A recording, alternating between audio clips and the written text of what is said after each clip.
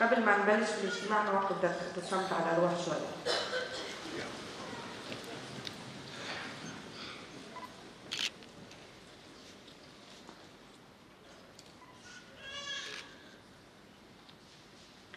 الشهداء أحياء لا يموتون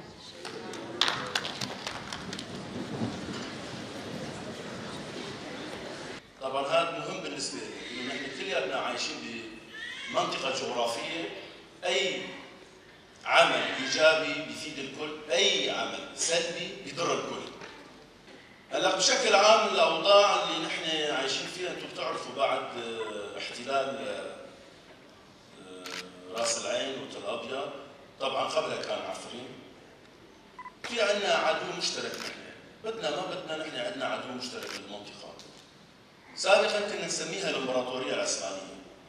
اللي تتذكروا لما داعش هجمت على منطقة يعني سموا المنطقة يعني معركة مرج دابا من وقتها لما العثمانيين احتلوا المنطقة ولحد هلأ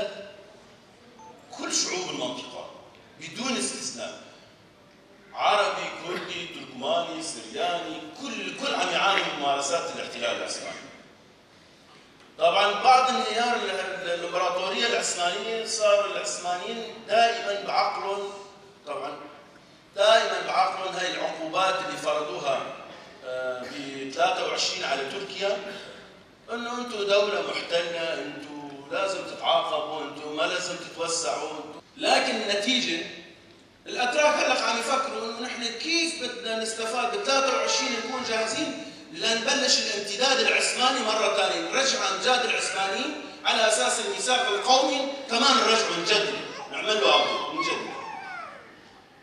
هلا بده يجدد على حساب مين بده يجدد؟ على حساب شعوب المنطقة. والأكثر اللي عم يدفع فاتورته هلا بالقرن ال 21 هو الشعب التركي.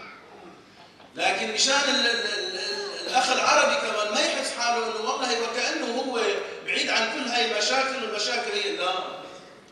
نرجع شوي لورا. بزمن النظام أو لحد هلا كنا دائما نحتفل ب 6 أيار عيد الشهداء. عيد الشهداء هم نفس الثوار والمثقفين اللي قاعدة من جمال باشا الصفاع بالمشانق بساحة المرج بدمشق وببيروت العربية قالوا نحن نريد مساندتكم. أنتم شلون تضررتوا من داعش واخوانها اخوانها وقياداتهم من تركيا وأردوغان نحن كمان متضررين نحن كمان ما ضلنا عايشين ما ضلنا حياه